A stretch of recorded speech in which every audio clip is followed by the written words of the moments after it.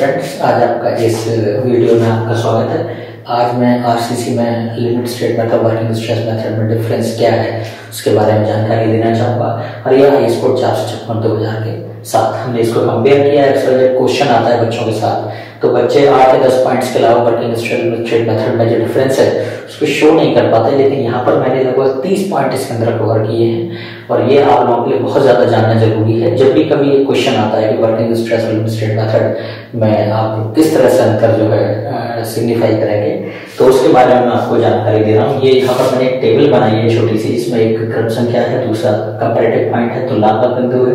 W S N जिसको हम कहते हैं वर्किंग स्ट्रेस मेथड और ये आपका एल एस एन यानी लिमिट स्ट्रेट मेथड तो इसमें सबसे पहला जो पॉइंट दिया है मैंने, आने वाला भार।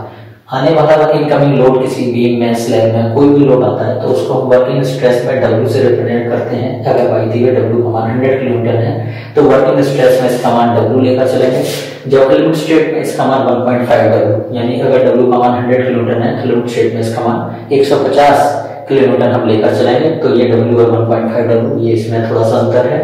इसके बाद हम दूसरा पॉइंट लेते हैं सिग्मा सीबीसी जिसको हम कहते हैं कॉन्क्रीट का बैंडिंग में। नमन प्रतिबल कितना है तो वो कंक्रीट का एम फिफ्टीन के लिए हम लेके चलते तो एफ़ सी के बाई थ्री लेकर चलते हैं, जिसका मान है पंद्रह बटे तीन, यानी पाँच मीटर पर स्क्वायर या सिग्मा सीबीसी का मान वर्किंग स्ट्रेस में पाँच मीटर पर स्क्वायर लेकर चलते हैं। जब स्टेट में इसका मान हम 0.446 एफसी यानी 0.446 इनटू 15 यानी 6.67 न्यूटन पर एमएम स्क्वायर तो ये थोड़ा सा अंतर हो गया 5 न्यूटन पर एमएम स्क्वायर डब्ल्यूएसएम में लेकर चलते हैं जनरल स्टेट में हम 6.67 न्यूटन पर एमएम स्क्वायर स्ट्रेस लेकर चलते हैं बैंडिंग में M15 के लिए। सिग्मा स्टील का स्ट्रेस टेंशन जोन में अगर एफ़ ढाई सौ ग्रेड का स्टील लेकर चले तो वर्किंग स्ट्रेस हम लिखते हैं इसमें F Y upon one point seven eight that is two fifty upon one point seven eight is one forty newton per M square जबकि लिमिट स्टेट मेथड में हम इसको लेकर चलते हैं. Zero point eight seven F Y यानी zero point eight seven एक coefficient है. वाई का मान ढाई सौ तो दो सौ सत्रह न्यूटन पर एम स्क्वायर तो देखिए यहाँ पर डिफरेंस कितना आ रहा है. एक सौ चालीस न्यूटन पर एम स्क्वायर वर्किंग स्ट्रेस में. जबकि यहाँ पर दो सौ सत्रह न्यूटन पर एम स्क्वायर है. इसके बाद हम सिग्मा सी से, यानी कंक्रीट का कंप्रेशन जो स्ट्रेस है M15 ग्रेड के लिए, अगर हम वर्किंग स्ट्रेस मेथड की बात करें तो यहाँ पर इसका मान है 0.8 सिग्मा सीबीसी सिग्मा सीबीसी का मान हमने पहले निकाला था 5 मीटर पर एमएम स्क्वायर M15 ग्रेड के लिए। 0.8 से गुणा करते हैं 4 मीटर पर एमएम स्क्वायर आता है। जबकि यहाँ पर हम लेते हैं 0.4 एफसी के। यानी 0.4 एफसी कितना हमारा M15 के लिए 15 हो गया। तो यहाँ पर कितना है, six newton per M square. तो ये भी एक बहुत बड़ा डिफरेंस सिग्मा सीसी का मान चार न्यूटन पर एम स्क्वायर, जबकि लिमिट स्टेटमेंट इसका मान छह न्यूटन पर एम स्क्वायर लेकर चलते हैं। इसके बाद हमने लिया सिग्मा एससी सिग्मा एससी यानी कि स्टील का कंप्रेशन में परमिसिबल स्ट्रेस कितना है? तो एफ़ डाइसोलेट की अगर हम स्टील लेकर चले तो वर्किंग स्ट्रेस मेथड में इसका मान 130 न्यूटन पर एम स्क्वायर है, जबकि लिमिट स्टेट मेथड में इसका मान 0.67 है यानी 0.67 इनटू 250 करें तो 167.5 न्यूटन पर मीटर स्क्वायर है। तो इसको मैंने टेबल में इसलिए किया ताकि कम समय में आपको ज़्यादा से ज़्यादा जानकारी मिल जाए।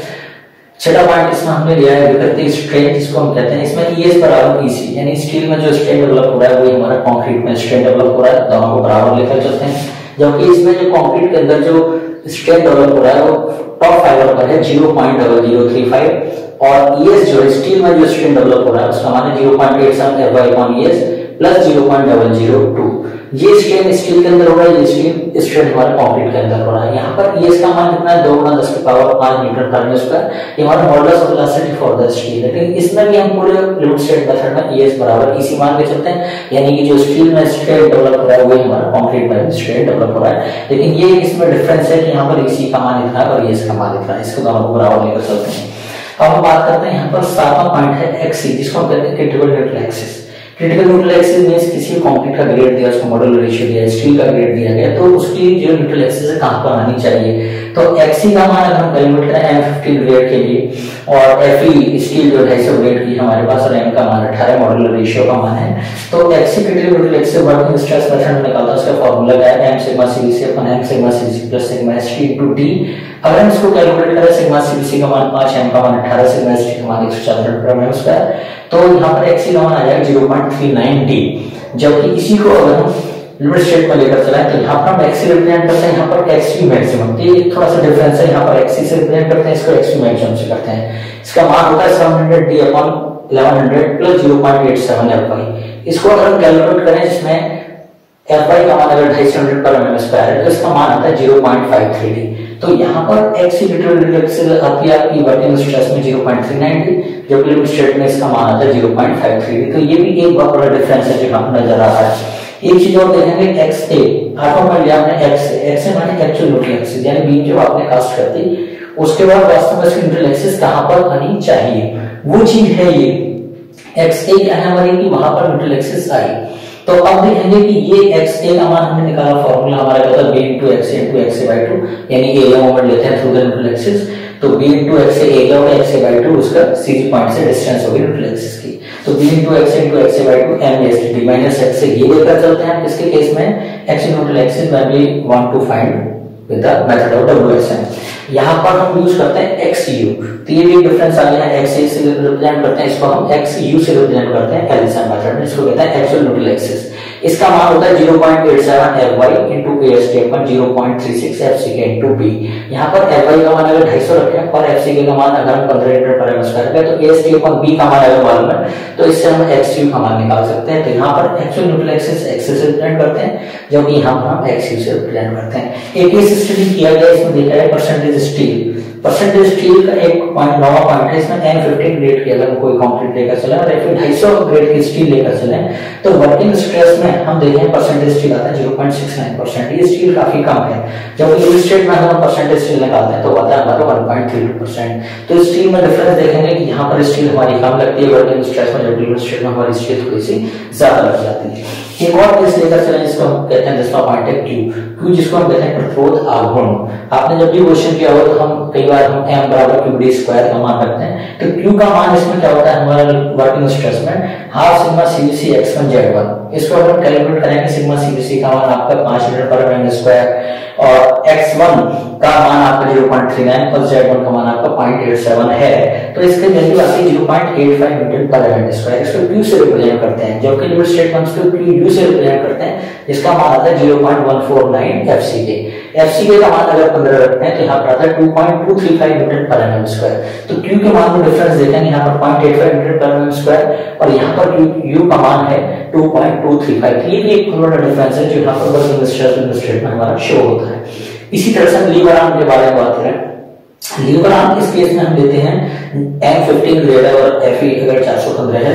तो लीवर आर्म को जेड से रिप्रेजेंट करते हैं इसका मान लो D minus X A by three को कैलकुलेट करें तो आता है डी माइनस ज़ीरो तो यहाँ पर लीवर आर्म का मान क्या है वर्किंग स्ट्रेस में D minus zero point three three X जबकि यहाँ पर जेड का मान लीवर आर्म का मान है डी माइनस ज़ीरो तो ये डिफरेंस है ज़ीरो पॉइंट थ्री और यहाँ पर आपका ज़ीरो पॉइंट फोर तो डिफरेंस आपको यहाँ पर ये साफ़ दिखाई दे रहा है इसके बाद आते हैं हम टॉसी टॉसी हम कहते हैं कि कंक्रीट का शेयर स्ट्रेस परमिसिबल कंक्रीट का permissible shear stress M15 grade को अगर लेकर चला स्टील जो है परसेंट कितना है? Zero point one five percent से कम या उसके बराबर अगर स्टील है तो आप टेबल से देखेंगे टॉसी का मान ये zero point one eight newton per M square है। कंक्रीट के द्वारा जो बियर किया गया शेयर स्ट्रेस है, उसका मान परमिसिबल कितना? Zero point one eight newton per M square जो कि यहाँ पर हमने क्या लिया लिमिट स्टेट में इसका मान 0.28 न्यूटन पर एम स्क्वायर तो ये चीज़ बड़ी एक डिफरेंस दिखाई दे रहा है कि 0.18 न्यूटन पर एम स्क्वायर टॉसी का मान जबकि यहाँ पर आपका 0.28 न्यूटन पर एम स्क्वायर है। इसके बाद टॉसी मैक्सिमम यानी कंक्रीट के द्वारा बियर किया गया मैक्सिमम शियर स्ट्रेस का मान। अगर बीम के केस में हम लेकर चले तो वर्किंग स्ट्रेस में इसका मान है 1.6 न्यूटन पर एम स्क्वायर और किसी चीज़ को लिमिट स्टेट को लेकर चले तो इसका मान है 2.5 मीटर पर एम स्क्वायर तो ये भी डिफरेंस दिखाई दे रहा है 1.6 और 2.5 का तो ये बहुत बड़ा डिफरेंस है जो आपको टॉसी मैक्सिमम में आपको दिखाई दे रहा है। एलडी एलडी कहते हैं इसको डेवलपमेंट लेंथ के बारे में एलडी क्या है डेवलपमेंट लेंथ है।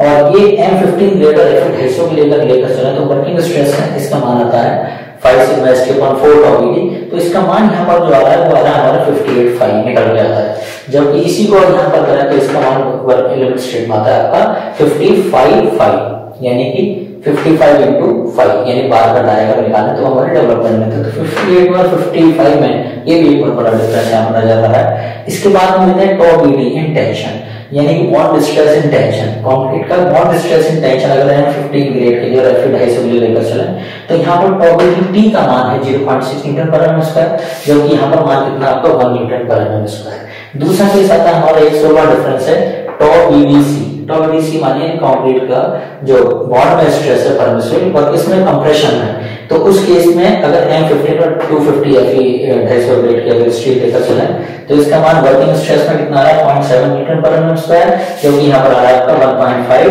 न्यूटन पर ये भी बहुत डिफरेंस है पॉइंट सेवन फाइव और वन पॉइंट टू फाइव इसके बाद इसमें हम कहते हैं कि जो पॉइंट है, हमारा कॉन्क्रीट कंक्रीट का जब भी हम इसमें फेलर मानते हैं तो इलास्टिक लिमिट के अंतर्गत होता है। कंक्रीट स्टील का जो फेलर इलास्टिक लिमिट के अंतर्गत होता है, जबकि इसमें जो फेलर है हमारा इलास्टिक टू प्लास्टिक यानी जब फेलर होता है उस समय कोई भी कंक्रीट स्ट्रक्चर है वर्किंग स्ट्रेस में elastic to plastic and then in working stress it is from plastic strip it is within the plastic strip and it is beyond the plastic strip it comes to the elastic to plastic so that is the difference to be here seen इसके बाद हमने यहाँ पर एक point और लिया अठारह point है हुक्स लॉ हम ये कहते हैं कि working stress method which I state method Hooke's law follow होता है नहीं होता है। तो वर्किंग स्ट्रेस मेथड में हुक्स लॉ को फॉलो किया जाता है, जबकि लिमिट स्टेट में हम हुक्स लॉ को फॉलो नहीं करते। इसके बाद हम 19 का पॉइंट लेते हैं, हमारे स्ट्रेस डायग्राम स्ट्रेस डायग्राम जब भी कभी स्ट्रेस डायग्राम किसी भी कंक्रीट आरसीसी बीम का हम खींचते हैं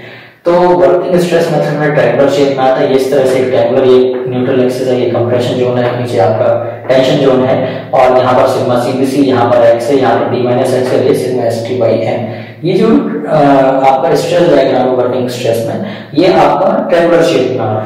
जबकि आप देखें लिक्विड स्टेट में, ये आधा इसमें कैसा है? रेक्टेंगुलर जो कि बाकी जो है सब आपका पैराबोलिक है। तो इसमें ये डिफरेंस है, यहाँ पर जो सिग्मा सीबीसी हम लिखते थे, यहाँ पर आएगा zero point four four six F C K और यहाँ पर जो आपका लिवर आर्म का मान जो आता था D minus zero point three three X से आता था, यहाँ पर आएगा zero point D minus zero point four two X क्योंकि ये जो इसकी सीजी है, इस इस कंप्रेशन जोन के एरिया की ये सीजी बैठती है आपकी zero point four two X पर तो ये यहाँ पे थोड़ा डिफरेंस है। इसके बाद इसका सेक्शन के बारे में बात करें, कोई भी आरसीसी में जब बीम का सेक्शन बनता है तो वर्किंग स्ट्रेस मेथड से हम डिज़ाइन करते हैं तो इससे एक बड़ा सेक्शन बन के आता है जबकि इसमें हमारा सेक्शन जो है छोटा बनता है, क्योंकि इसमें स्टील में स्ट्रेस ज़्यादा लेते हैं परमिसिबल कंक्रीट में परमिसिबल स्ट्रेस ज़्यादा लेते हैं। इसके कारण इसका सेक्शन छोटा बनता है, जबकि यहाँ पर स्ट्रेस हम थोड़ा सा कम लेकर सकते हैं स्टील में स्ट्रेस भी कम लेकर सकते हैं तो उसके कारण जो ओवरऑल सेक्शन है, वो हमारा काफ़ी बड़ा बनता है। जहाँ पर हम दोस्तों इकोनॉमिकल की बात करें तो किस पॉइंट हमारा इकोनॉमिकल है? मित्रता जिसको हम कहते हैं मित्रता मींस इकोनॉमिकल तो थोड़ा कॉस्टली पड़ता है। वर्किंग स्ट्रेस मेथड क्योंकि सेक्शन ज़्यादा लगता है कि हमें स्टील कम है। लेकिन इसके बावजूद भी जो ये प्रोसीजर है हमारा वर्किंग स्ट्रेस का, इससे जो भी आपका सेक्शन निकल के आता है, वो बड़ा होने के बावजूद कॉस्टली पड़ता है। ये छोटा होने के साथ साथ ये इकोनॉमिकल पड़ता है। इसके साथ साथ अगर हम देखें, दूसरे स्ट्रेस जब भी कभी हम बीम का डिज़ाइन करते हैं वर्किंग स्ट्रेस मेथड में या लिमिटेड मेथड तो हम कुछ दूसरे तरह के स्ट्रेस भी हम इसमें काउंट करते हैं। तो इसमें शेयर बॉन्ड स्ट्रेस जो हम खास तौर से लेकर चलते हैं वर्किंग स्ट्रेस मेथड में, जो भी लिमिटेड में शेयर और बॉन्ड के साथ साथ हम इसमें डिफ्लेक्शन को भी प्रेफरेंस देते हैं। तो इसमें डिफ्लेक्शन वाला एक एक्स्ट्रा जो पॉइंट है, वो यहाँ पर नोट करने है एलिसन मेथड में। इसके बाद हम कहते हैं कि ट्वेंटी थ्री पॉइंट है। समकक्ष कंक्रीट हम नॉर्मली करते क्या है कि जब भी हम वर्किंग स्ट्रेस मेथड का इस्तेमाल करते हैं तो उसमें बेंडिंग थ्योरी ये कहती है the section is the homogeneous क्या कहते हैं? सेक्शन इज़ द होमोजेनियस यानी कि स्टील और कंक्रीट ये नॉट होमोजेनियस है। ये नॉन होमोजेनियस है।